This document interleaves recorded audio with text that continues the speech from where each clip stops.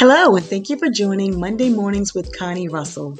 I'm Connie Russell, the CEO of CL Russell Group, a workforce training and development consulting company. The Career Focused Live platform is where we connect individuals with career focused strategies and resources to help them grow into the career of their choice. Today's Career Focused Live topic is how to respond to the interview question What are your weaknesses?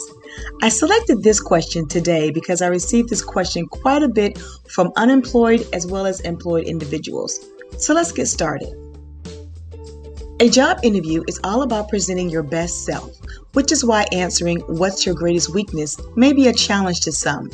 The first thing to keep in mind is why the question is being asked.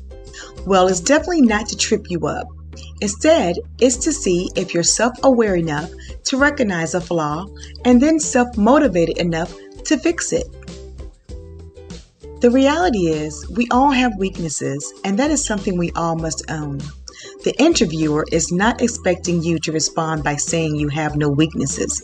So, how do you respond without sabotaging yourself? One way is to avoid mentioning any weaknesses that you do not have a plan for addressing. For example, if you admit to being a procrastinator, be sure to share with the interviewer the steps you are taking to help resolve this weakness.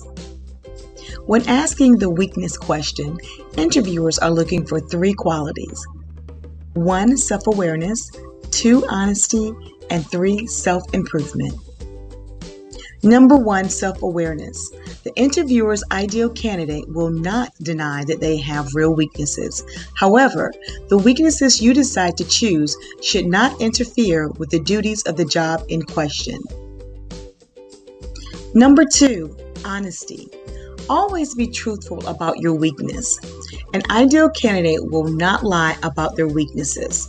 So choose a real weakness and talk about the steps you are taking to address it. Number three, self improvement. An important element of your What Are Your Weaknesses answer is showing self improvement.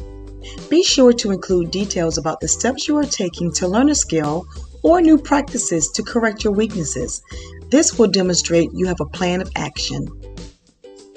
Prior to your interview, you will want to make a list of your job weaknesses in advance.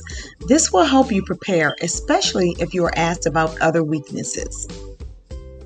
And lastly, the best response to the What are your weaknesses question should include two parts the weakness itself and what are you doing to correct it. Thank you for joining Monday Mornings with Connie Russell. I hope this career focused live will help you get closer to reaching your career goals. If you found this information to be helpful, please like and share. Chances are it will be helpful to others as well.